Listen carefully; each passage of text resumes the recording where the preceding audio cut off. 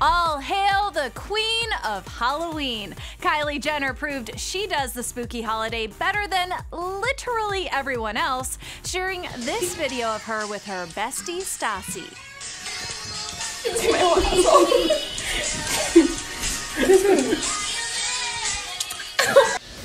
That's the reality star and her friend recreating one of the most iconic pop star moments of all time. You know, that time Madonna and Britney Spears smooched on stage at the 2003 MTV Video Music Awards.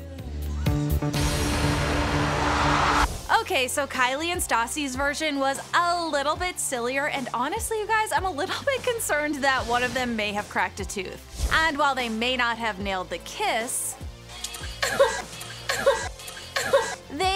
definitely nailed their costumes. Thank you. Earlier in the day, Kylie teased her costume, posting a clip of her listening to Brit's 2007 hit Piece of Me on her Insta story. You want a piece of me? Oh, fuck her new single. You want a piece of me? Of course, this isn't the first time that Kylie has channeled her inner early 2000s pop princess. In 2016, she had the internet completely shook, dressed up as Christina Aguilera circa her dirty era.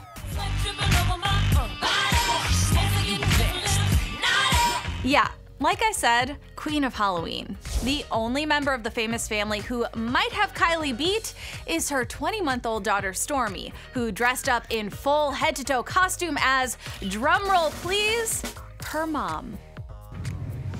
Let's go, family. It's showtime! Showtime. It's fucking showtime! Stormi straight up broke the cuteness meter, dressed up in a mini version of Kylie's Met Gala look. We are talking purple beaded dress, a feather boa, and purple wig, people. I mean, I'm dead. It's too good. Kylie shared a few pics and this clip of the Halloween look on Instagram alongside the caption, My baby, I can't handle this, complete with a ton of purple heart emojis.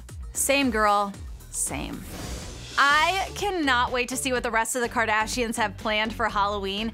And honestly, I'm kind of hoping they do another sister costume. Remember last year they did a full on professional photo shoot to capture their Victoria's Secret Angels costumes, and they damn near broke the internet. Of course, ET will be right here to make sure you are all caught up on the Kardashian Jenners, so make sure to keep it locked right here. Until next time, I'm Hallie Stevens. Bye for now.